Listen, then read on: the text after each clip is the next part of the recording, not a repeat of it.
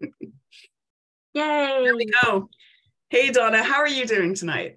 I'm good, thank you. Thank you for inviting me to take part in this. It, it's good to share the knowledge and get it out there.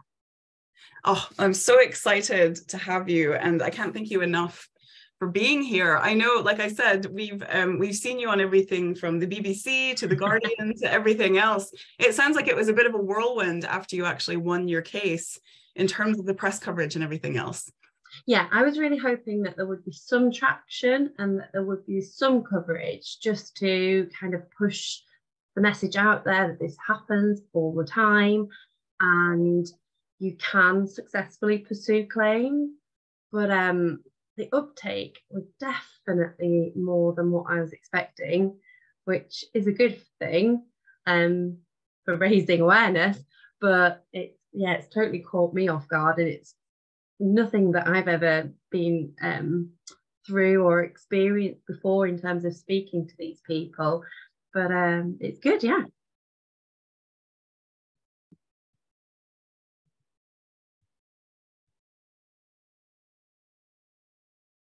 I muted myself so you wouldn't hear the ding dongs, and then I got trapped in mute.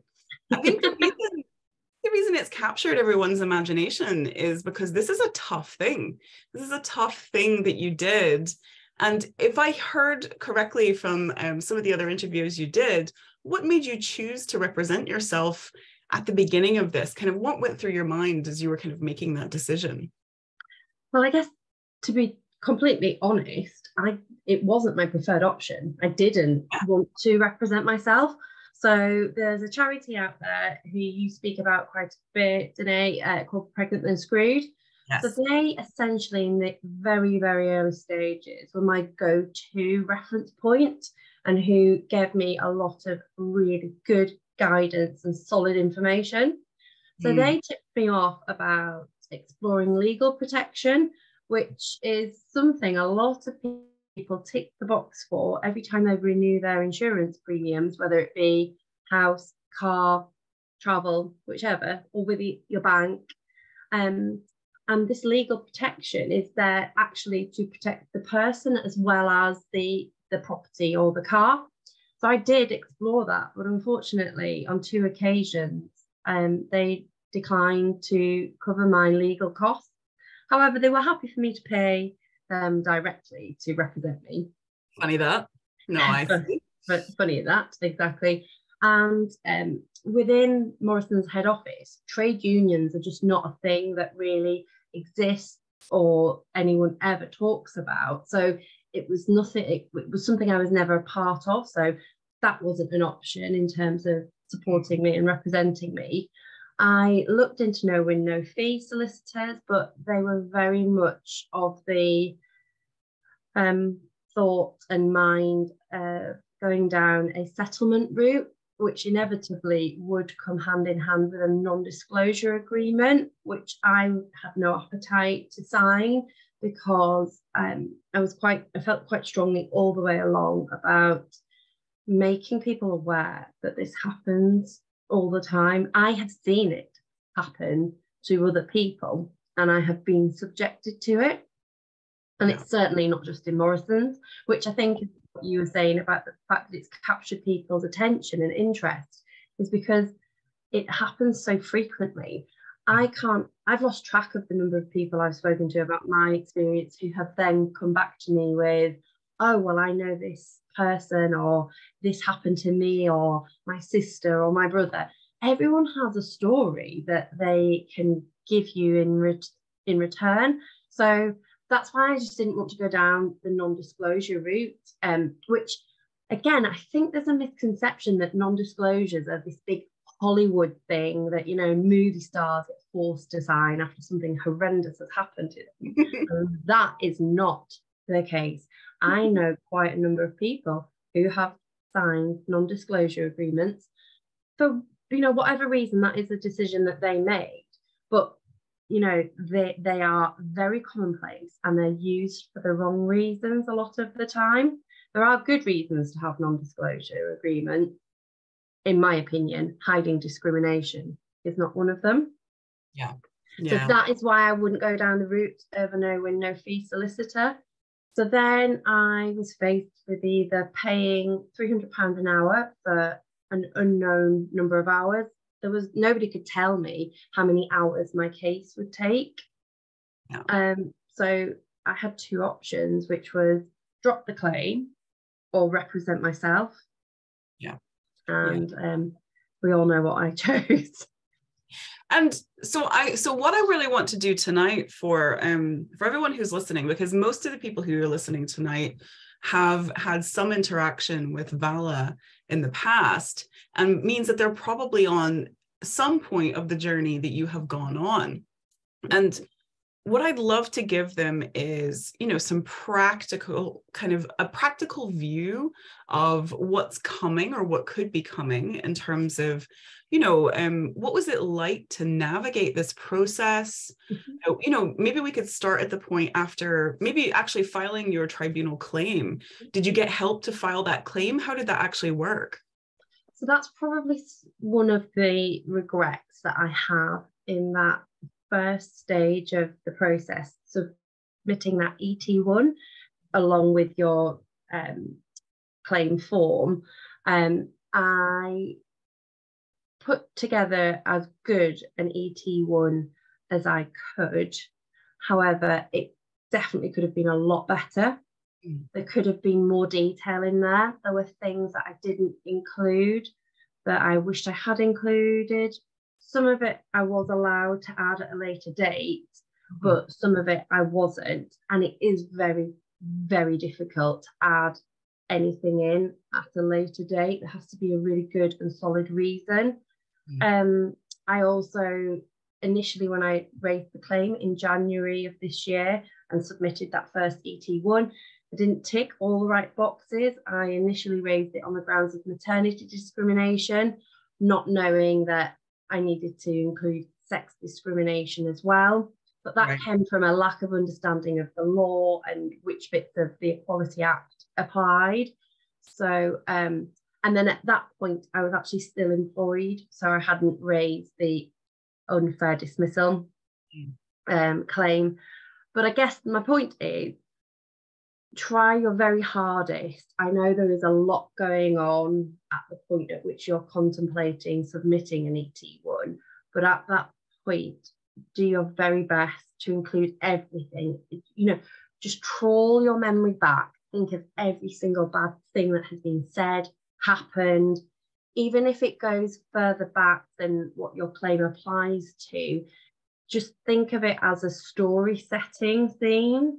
Mm. Um, articulating to the tribunal the type of company that you're raising a claim against.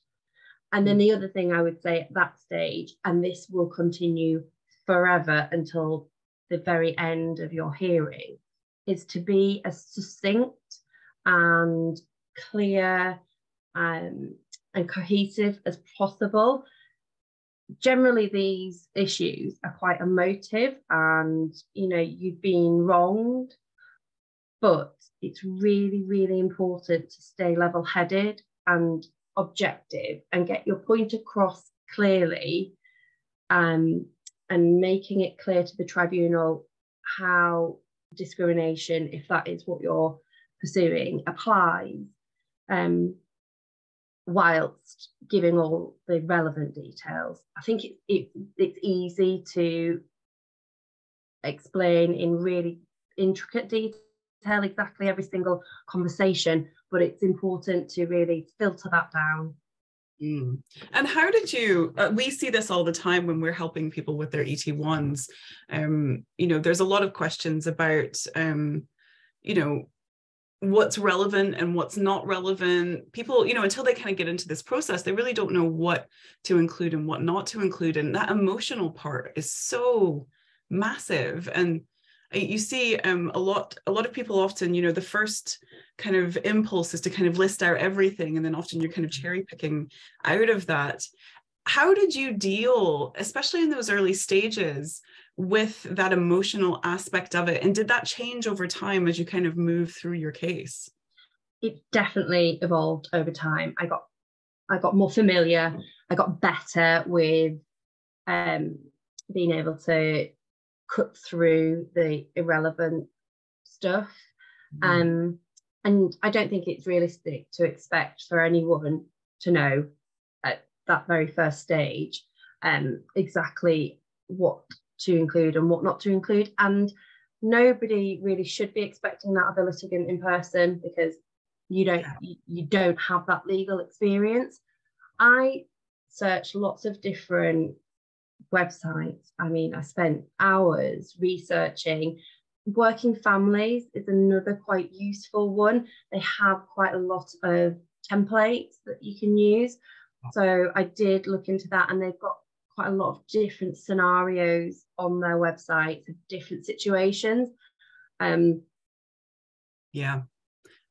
I also read the government's website the outcomes of other people's cases that were similar to mine. So I really familiarized myself and got my mindset into a place where this is clearly the type of content and detail that wins a case.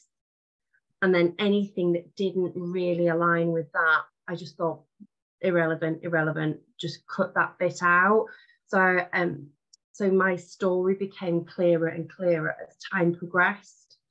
But at the stage of the ET1, I know it's it's kind of quite contradictory, but I would include as much information as you possibly can, but at the same time keeping it relevant. And the mm. way to keep it relevant is to familiarize yourself with what seems to succeed in the tribunal and what doesn't. Yeah, absolutely. It's fantastic advice. And if I could just um, repeat a few parts of that for um, for all of our listeners. Uh, one thing is if you search and on the web for employment tribunal decisions, that's where you will find the resource that Don is referring to there. It's a gov.uk page and it's called Employment Tribunal Decisions. And that's where you can look through all of the decisions that have gone through tribunal and been published. And what you're looking for, because there's a lot of noise in there, and Donna will know. Um, what you're looking for are cases where it says full judgment or judgment with reasons. And those are the ones that will give you all the details of what happened and most importantly, how the tribunal made their decision. So they tell you what made them decide one way or another, which is in- incredibly useful for research. The other thing, um, just on clarifying your claim and really understanding it, is if you go to valla.uk and you click on the menu on the left and then choose make a tribunal claim, we've listed most of the major discrimination related tribunal claims and a few other claims there. And we specifically point to real cases on gov.uk and we talk through exactly what happened in those cases and a little bit more about the legal claim itself. So if you're in that position, that research phase, I'm sure I can get Linda to drop a link into that make a tribunal claim page and it just lists tons of different claims and that's a great place to start. I wish it had existed when you had first started, Donna. I think you you were having to work even harder. and and what I would add to what you've just said there today is that reading these documents, they're heavy, they are heavy going. Mm. And eventually, over time, you do become familiar with what to skim through. So don't be alarmed if you open these documents and they're 30 pages in length. Unfortunately, you become quite familiar quite quickly with, yeah, yeah, don't need that, don't need that. And you and you get to what I would call the good stuff. Um, what another useful tip might be is you can actually search tribunal outcome decisions by company name. So you can actually go and dig a bit of dirt on your employer and um, find out has anybody previous to you been successful. These are excellent tips, Donna. This is gold. This is gold for everybody who is visiting. Fantastic. Okay, let's talk a little bit more specifically about running like the mechanics of running a case. How long did your case go from like et1 to um, actual judgment? How how long was that period? So i would say i was lucky but um, i don't think anybody involved in a tribunal can say that they're lucky. But i would say i was lucky because it was quite quick in the world of tribunals. So i got warned by various different people that it can take ages because, like everything in the world at the moment, COVID has created a backlog. Indeed. But this hugely varies from tribunal um, location to location. So, for example, Newcastle could be very different to Birmingham. Mm. London could be different to Leeds. So I raised my claim in January 22 and mm-hmm. my hearing was October 22. That's quite unheard of. Yeah. Um, yeah, I, I got told to expect anything from 18, 12 to 18 months to even two years. Fortunately for me, that wasn't the case. And the reason I say I was lucky is because despite all your great note keeping and record keeping, memories do get fuzzy over time and it is really hard to recall that information and that is important when you're being cross-examined and when you're cross-examining because you know people's memories do get foggy. Um i guess the bit to point out as well is in between the claim being raised in january and the hearing taking place in october i had what is quite common in discrimination claims. I had a preliminary hearing and the reason why that's common in discrimination claims is because they're quite complex and they happen over long periods of time. So the tribunal service put in place what they called a preliminary hearing to kind of get both parties together um, with a judge there to whittle through exactly what it is that is being disputed and get what is called the list of issues agreed. Um, of course, all of this I was unaware of yes. until I went through it step by step. So the preliminary hearing for me took place over the telephone, but some people it can take place in person. And it was set for March of this year, but it then got moved to June because I raised an additional unfair dismissal claim Mm-hmm. And I also um, added the sex discrimination claim in. Mm-hmm. And I also added in some extra um, issues because of the results of my DSAR, which is a data subject access request. So that uncovered other issues that I wasn't aware of in the January at the point at which I raised my claim. So for all of those different reasons, my preliminary hearing moved from March until to June. So um, I was really, really nervous and really anxious because although up until that point I'd been liaising with Morrison's solicitor, I knew that that was a really fundamental point in my claim because I was going to be in front of a judge for the very first time.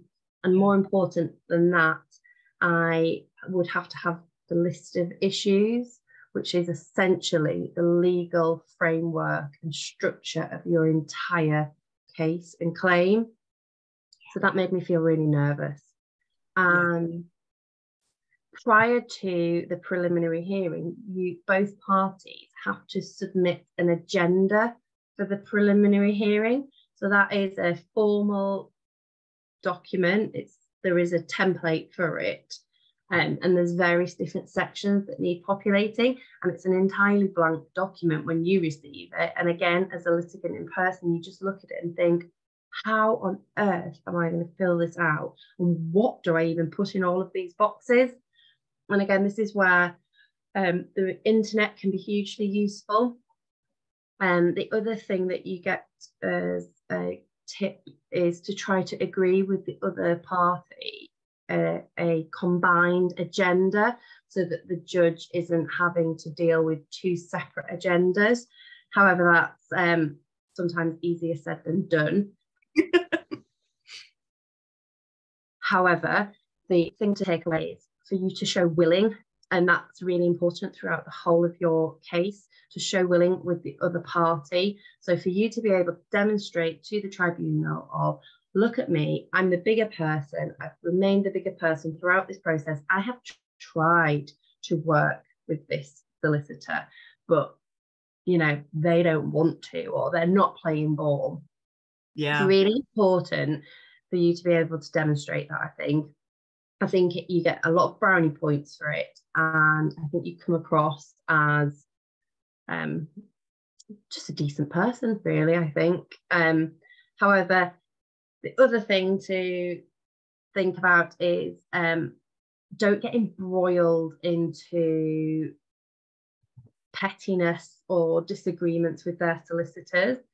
Um, it's difficult because they are sometimes, I would say, intentionally being awkward or not playing ball.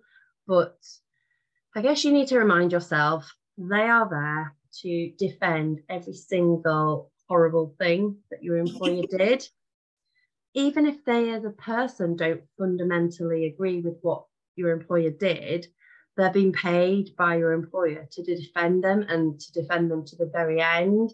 So they're never really going to put their arm around you and say, let me look after you through this horribleness. I'll take you through this step by step and I'll help you. Um, so yeah, just try to remember all of that. Um, however, if they are being really difficult and really putting barriers up, you are fully entitled to report incidents to the tribunal. And it's important to have them on copy. Um, and a, a, lot of the correspondence between you and the tribunal um, will need you to put them on copy. Yeah. And when I say them, I mean their solicitor.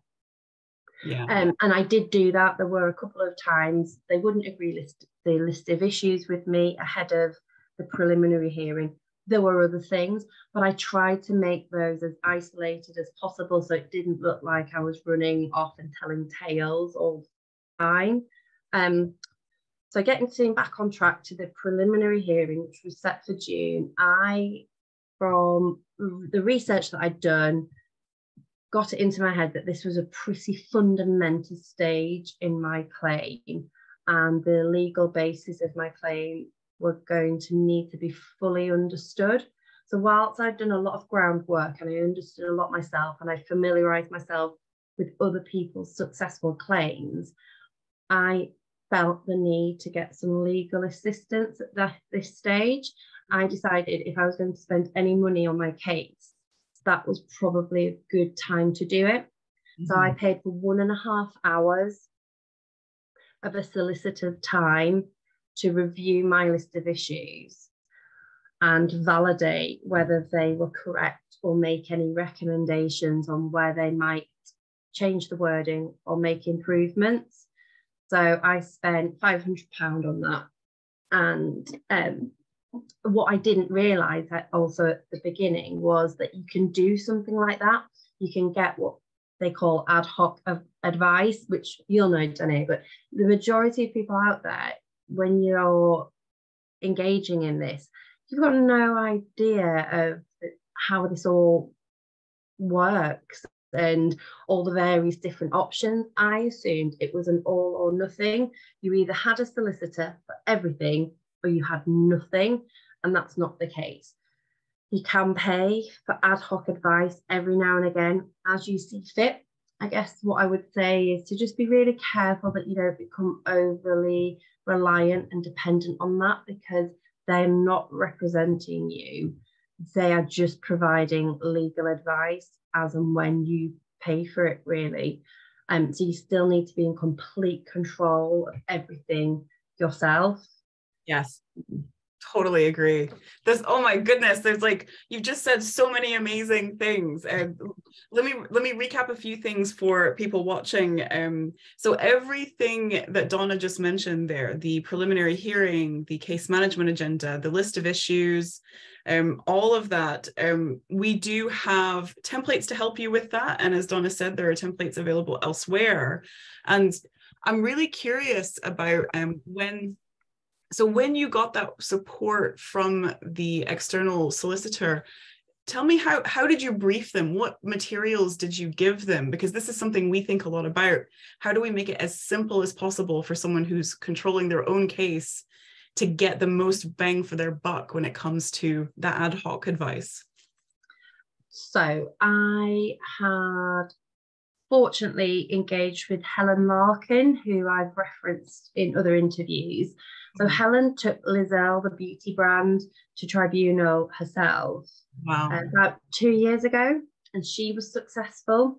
So Helen was so helpful to me. Um, and I spoke to Helen about my situation, and Helen explained to me that she had engaged a solicitor on an ad hoc basis. So she had paid a certain amount of money for support on a couple of different scenarios. And um, I th- yeah, I think it was at that point that I became aware that that was an option. So Helen gave me the details of the company that she used, and I spoke to them, explained how I'd come across them, and we had some pro bono chat um, about my situation and what it was that I was wanting from them.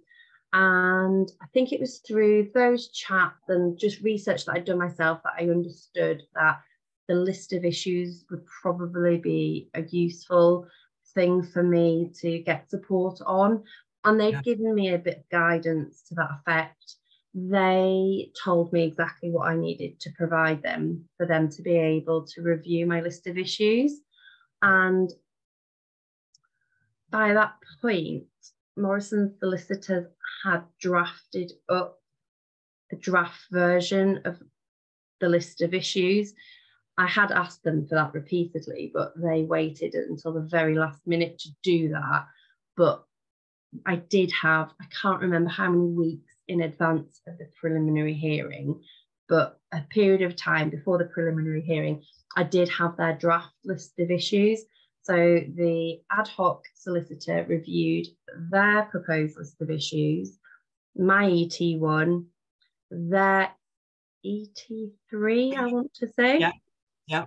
And any really what I deemed crucial pieces of evidence. Yeah. So she she reviewed all of that in that one and a half hours and the, then came back to me with, yeah, I think their list of issues have there or thereabouts covered, but you may need to think about this and you may want to include that and you may need to take into consideration that some of the decisions were made while you were pregnant, while you were on maternity leave, and after you returned from maternity leave, the different parts of the Equality Act are going to apply at different stages. Um, she gave me some tips about what she didn't necessarily call them tricks, but I would call them tricks. Um, what trick their legal representation might try and get away with. Yeah. Um, so that was really useful. But I guess what I would also say is just like so many people I had come across throughout the whole process, um, and I and I do genuinely think it comes from a good place. She wasn't necessarily encouraging of me doing this on my own. Mm. And I do come back to the point of I don't think all of these people are doing it from a negative point of view. I think the majority of them are coming at it from a this is going to be really hard. This is going to be character assassination. This is going to really test your resilience and mental health. So I like to think that people are coming from it from that point of view. But in the same breath, I would also say, you know, we're all grown ups. We all know what we can and can't endure and what we are able and not able to deal with. And I think that people are being done a disservice by being told, yeah, I, I really don't think you should do this, or I really think you should consider pushing your legal protection again to get them to represent you. Because I think every single time somebody says that to you, it forces you to question whether you've made the right decision. Yes. Yeah. And that's just really hard when you're going through something as tough as what an employment tribunal is. You need support. But, yeah. Yeah. So I guess what I'm trying to say is they are just trying to really make sure that you are very clear how tough it can be. but at the same time in doing that they kind of are undermining you as well mm-hmm. yeah it's it's something that we think a lot about here at Valla because we're here to support our, our entire company exists to support people who are representing themselves and so we probably flip on the other side where we're we're always on your side we're always here to support you. Sometimes we might say you know you don't have to do this. Like mm-hmm. that's a perfectly valid thing to do as well but i think it's so important for people to hear that they they can absolutely do this if they want to do it and they have support to do it. Actually i'm i'm very conscious because i know there's tons of questions going in. One more question from me before we go to the audience. So you joined um, the Valla platform relatively late in your case and um, can you just talk about kind of how you use the platform what services you might have used and kind of at what stage you kind of onboarded with us of course yeah so i um found out about Valla through my Pregnant Then Screwed mentor. So she mentioned on one of our calls that there was this platform called Valla. So I went on and had a little look. And it was the timeline for me, which was really critical mm. because, in my case, and in a lot of cases, lots of different things happen. Yeah. And you need to be really crystal clear and all over the detail of what happened, when it happened, who said it, what evidence you have to support each individual incident. And the Valla timeline is brilliant for that. And in fact, I was able to access that while I was still employed by Morrison, but I was uploading stuff while I was at work. Amazing. and and I think that's the key thing. So in the timeline, you've got the event, but then you can attach the evidence to the event. And it sounds like that was the crucial thing for you, where it was like, on this day, this thing happened. Here is a copy of that thing that happened. Is that right? That's absolutely correct. And um, so for me, emails were my main bits of evidence. And um, so I had quite long email trails. So I was able to attach the same attachment to multiple incidents on my timeline because the same email applied to lots of different incidents because um, I made lots of email trails. Um, and this is what's really, really important for any claim. You do need to have some sort of evidence. You're just going to have a much tougher time of it if you don't have that kind of evidence um, to demonstrate what did and didn't happen. Um, so it feels really uncomfortable sending those kind of emails in the workplace um, or correcting minutes that get issued. But it's really important that you do that because when push comes to shove, if you know that this is going to end up in a tribunal, you need to have that documentary evidence. So it's yeah. worth the discomfort at that stage while you are still employed to Absolutely. have it documented and recorded. And like you said, the Valla platform lends itself for having those pieces of evidence attached. And not every single incident that you will have in your timeline will have evidence for it, and that you don't need it. For example, mine would just be returned from mat leave on such and such a day, mm. and then um, meeting scheduled, such as. But then other bits will have fundamentally important pieces of evidence attached to it. Yeah. And I take it that's um, that chronology is so essential for a witness statement later on. Critical. Um, and ET1. And depending on what point you engage in the Valla platform, you know, if you do it early on, it can be really critical for your ET1 as well. And also when you're cross-referencing their witness statements, which you receive back. Mm. Um, and then also when you're pulling together your questions for cross examination, I've, I've lost track of the number of times I went back to my Valla timeline. That's so exciting because that was the very first feature that we built um, for that reason. So it's so helpful to know that that is um, working as intended. Okay, so I've kept you all to myself for a little bit too long. I'm conscious that there are lots of things going on in the chat. So I'm going to have a peek in here and see what kinds of questions we have. So I'm just going to scroll up So Pam asks, when do you request a DSAR if you're going to tribunal? And is your employer obliged to accept your request of a DSAR? Um, so at any point in time, um, you can submit a DSAR. I didn't know about it until much further down the line, but then I would argue at the same time by doing it a little bit later on, I had way more stuff to go at because that left a longer period of time for them to be doing things they shouldn't be doing and saying in emails or instant messaging or handwritten notes. So, firstly, um, at any point in time, you could submit a DSAR. Secondly, they are legally bound. They have up to 30 days to respond, and then in exceptional circumstances, they can have longer, but they have got to follow it up with everything. And then if they are being difficult, you can report them to an organization called the ICO. Absolutely. And I would just echo, um, so we have a we have a DSAR template that you can use for free. And often what we find for people who are going to settle, um, we find that combining a settlement offer of say without prejudice letter with a data subject access request is often quite a nice um, I'm serious kind of tactic to show your employer that you are collecting evidence for a tribunal claim and you'd like to try and avoid that by going and settling beforehand. If you do want to know more about the DSAR, um, our free template has a little course inside it which covers things like what happens if your employer doesn't respond. It's such a smart thing that you did to use that and we've seen other people use that really well. Okay, I've got another question. What tips do you have for applying to amend a claim in a written application and a preliminary hearing? Um, so I did do that because of something that came out of the DSAR that I wanted adding into my claim. Um, mm.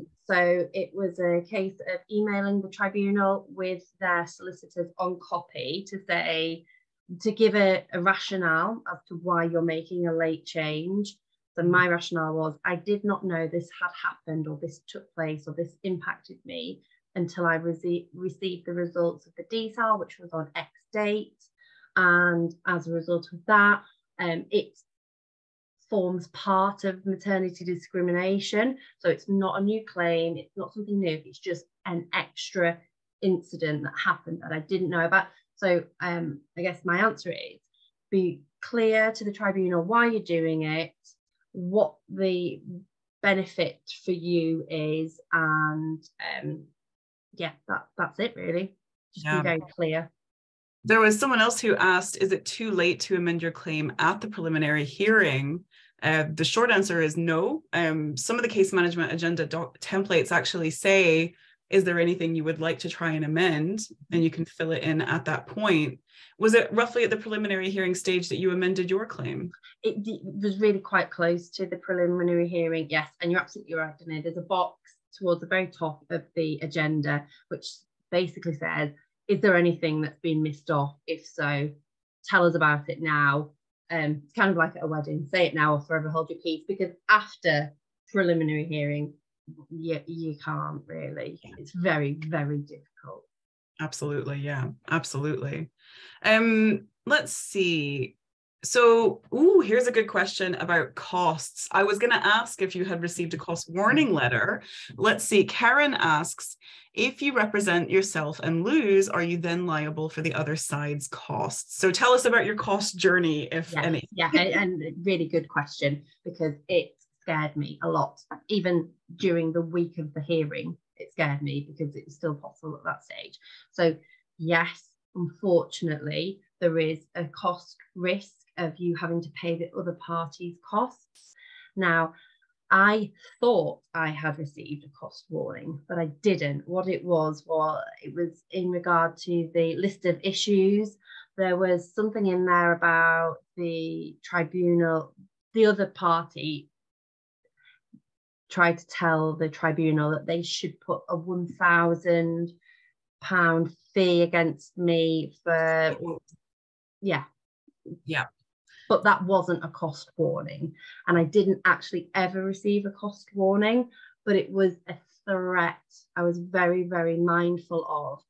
And i got lots of reassurance from various different sources of cost warning uh, to go after a litigant in person for cost is pretty unethical um, and it's fairly rare. It's not impossible, but it's fairly rare that a tribunal would do that.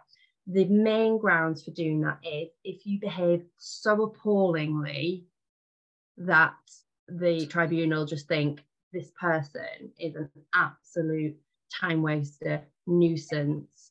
They they have wasted the government's money in pursuing this claim. Two, your claim is founded on utter lies and there is no element of truth whatsoever in what you're saying. Therefore, again, you're wasting the government's time in pursuing the claim. Um, or three, if you just don't turn up to stuff, or if you don't follow and adhere to deadlines. And that's one thing I would really labour, we haven't covered yet. It's so, so important to follow every single deadline and be really on top of what deadlines the tribunal set you because at that preliminary hearing you get case management orders afterwards. So on there it will be you have to exchange this on this date. You have to submit this on this date. And it's critical. The tribunal have got zero tolerance for people not adhering and following deadlines. So i would say that's very important yeah, and and to echo, there actually was a study done of cases that was released in 2020. So in only 6% of cases were costs awarded um, to the respondent from the claimant when it was applied for, but in 26% of cases, the tribunal did award costs to the claimant. Now, it's worth both of those things that uh, Donna just mentioned there the deposit order um, for that thousand pounds and a cost um, application and cost warning, those are tactics that employers often use to intimidate employees that you yourself can use as part of a negotiating tactic as well. Um, so those uh, we have templates for those as well because these are things that often get used only by one side. And it is worth knowing you can claim costs if the employer has done any of those things that Donna mentioned, and you would be able to bill your time towards those costs at a rate currently of about 41 pounds an hour. Yeah. So it's um yeah, it's a scary thing. We tell the same people the same thing. The best way to avoid the risk of a cost warning or to really lower that risk is to engage in good faith in the process, to not make up anything, and to you know research your legal claims. Um, but they are so scary. Okay, I've got even more questions, so I'm going to start rattling through. Um, I was told that the judge had an obligation, this is Rachel, to step in with legal arguments for litigant in person. Do you know if the judge has a responsibility to fill in with legal representation if a person representing themselves doesn't always ask the appropriate legal question? Um, there's an element of truth in it. So the judge's responsibility is to ensure that no litigant in person is disadvantaged because of their lack of legal knowledge. So they are there to ensure everyone's on a level playing field um, they're not there to argue on your behalf i guess is what i'm going to say. So they're not they're not going to start quoting oh you've forgotten this bit and actually this part of the equality act will support what you're trying to say. Um what i in my experience the judges respond very well if they feel like they're dealing with someone who has tried their absolute hardest, who has researched, who has tried to familiarize themselves, who has familiarized themselves with other cases, can articulate themselves quite clearly, but understandably don't know the inner, the, the, the, the absolute detail of the legal side of things. So yeah, they're there to be supportive um, and to step in if the other side are getting out of line, but they're not going to hold your hand. That's, um, I would completely echo that as well. They're just like Donna said, they're not there to represent you, but you can absolutely say, you know, I've researched this and I just need to clarify this particular thing, or you've asked me to do this. Can you clarify what this part means? They're absolutely there to help you understand what's going on, aren't they? And that's a really good point. You are fully entitled, and I would urge you at every single stage to say, I don't understand what that means. Mm. you know, and if anything, that reinforces your position as a litigant in person because, you know, these people that you're going to be interacting with are doing this every day, day in, day out. They are, you know, they're handling multiple cases. You're handling one case that you've never ever done before. So mm-hmm. you are expected to not know what is being said.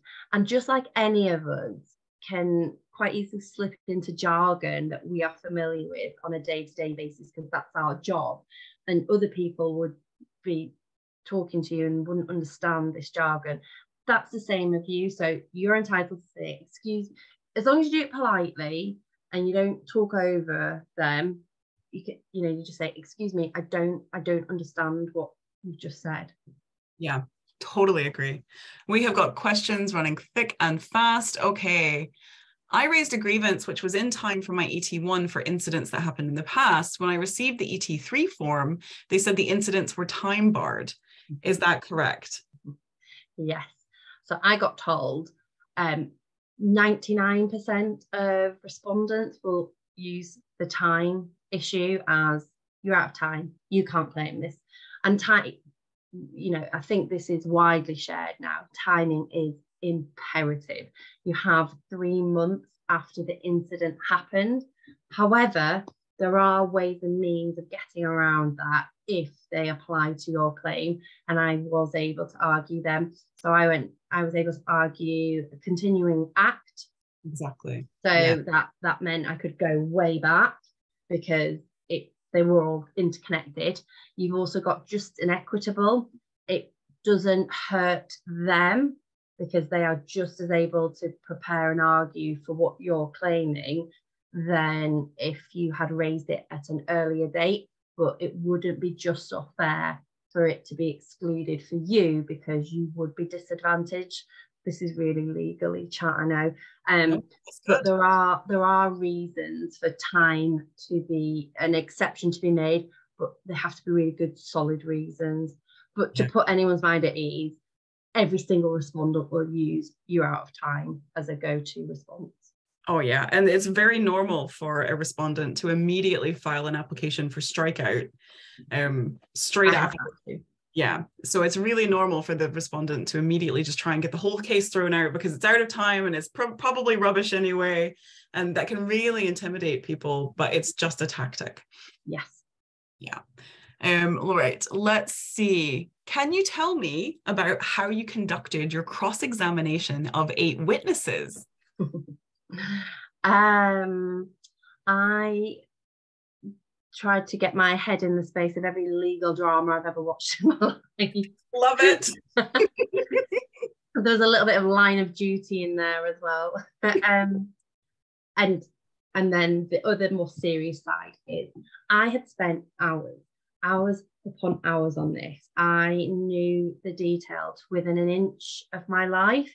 So I was so, so clear of what the case was, what the story was, what I needed to prove. I had familiarized myself with other people's successful claims.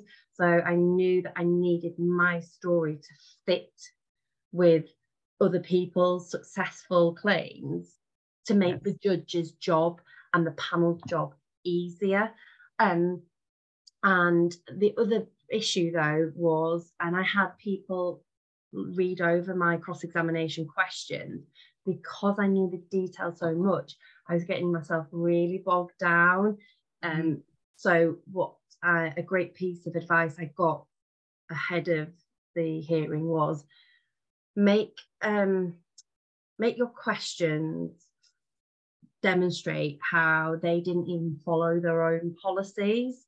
So rather than trying to prove every single little point that you feel aggrieved about, just go for the really important, really easily proven things.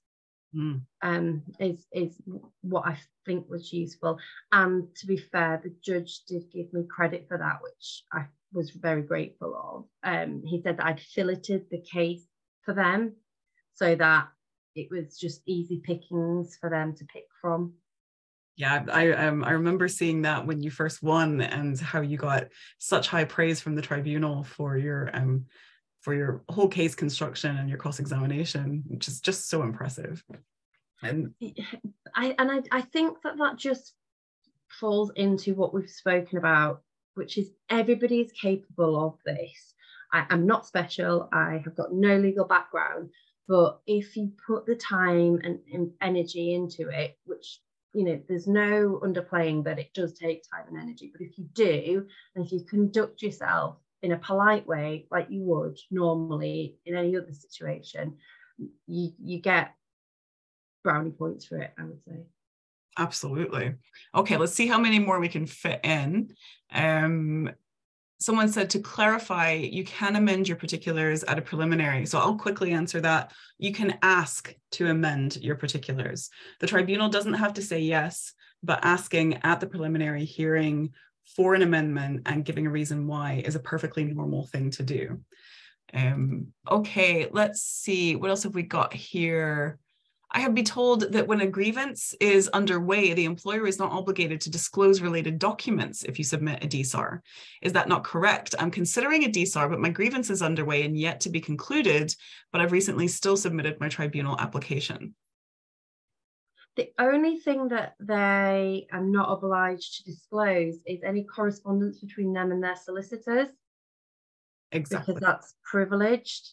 But anything that has got your name on it that falls within the scope of what you detail in your DSAR, it's it's it's yours to have. Now I have heard horror stories about employers messing around and and not um, disclosing things, but there is a second point in time at which you should be given information, which is during disclosure, which the judge will um, timetable at the preliminary hearing. However, also they do sometimes not play ball and include things in disclosure that they should. But that's where it comes really important to start cross referencing your DSAR documents, your evidence, their disclosure details.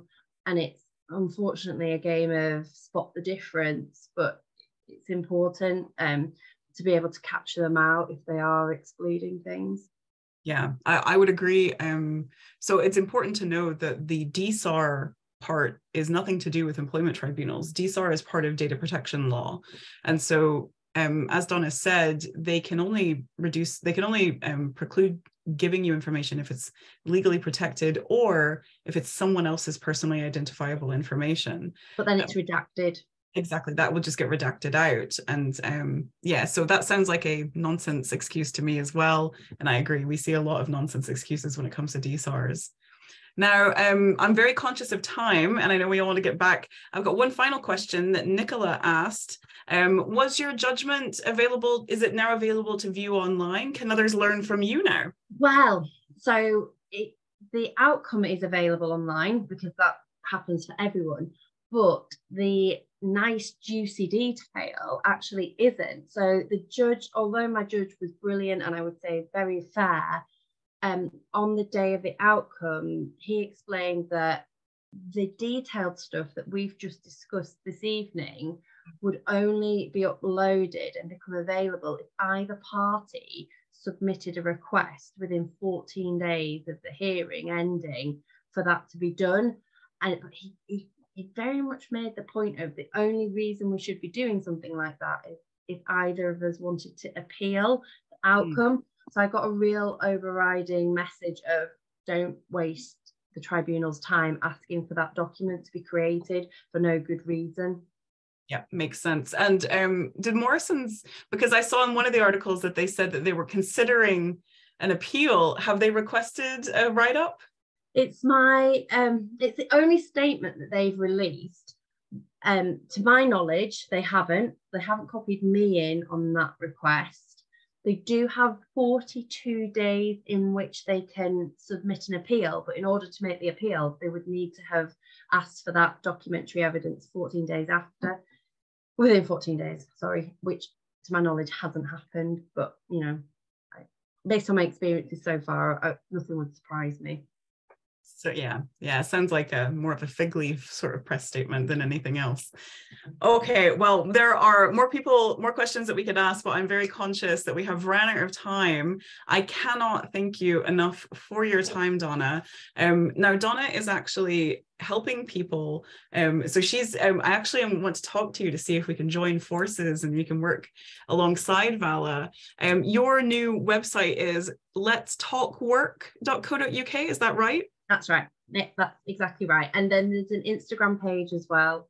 So basically, all this information that I've got buzzing in my mind that I've splurged out this evening, I, I want to make it available to people because it was one of the things that I struggled with during my running my case was just being able to speak to somebody who wasn't a solicitor who had done what I had was doing yeah. And and and that's why i want to talk to you as well because um, that's exactly what we're doing. I'd love to see if we can join forces because we have Valla coaches and we're just expanding more as well because this is what people need. People need to know that this is possible that you can do this. Look at donna. As donna said she is incredible but she's not superwoman. She is a person who took the time who decided not to settle and went forward with the case it is possible to do it yourself. Huge congratulations to you, Donna, and thank you so much for coming with us this evening. Oh, it's a, it's a pleasure. It's, it's good. it's, it's good to get the information out there. That's what I was saying to you, wasn't I? That um, that's why you and I and everyone else involved in this whole system is trying to give people power back that's exactly it. That's it's so exciting. Like when you were telling your story about why you were doing this, it echoes the story of why we created Valla. It's um, just more people who go through this who don't want anyone else to have to go through it.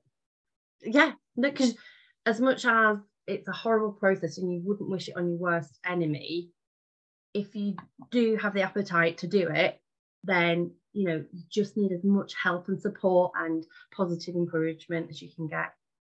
Oh, wonderful. Thank you.